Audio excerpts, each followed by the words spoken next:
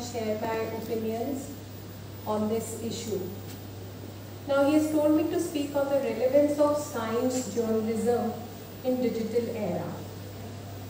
Now, digital journalism is my forte, as I have done my. I've been saying with Mr. Pataria that I met him first time when I was coordinating a conference and उस conference का title था to reassess rural development through science communication in digital era.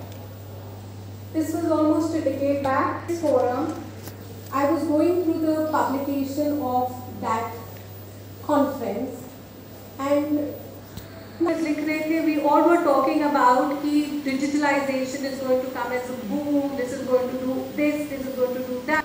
A very long period of time. Scientific. Have you been here earlier also?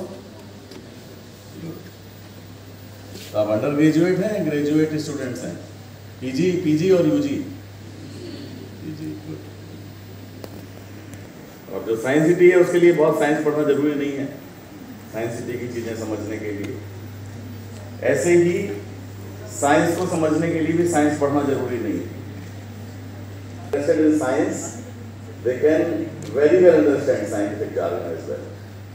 क्योंकि शुरू में जो science हुआ है और किया है वो नॉन साइंस के लोगों ने किया है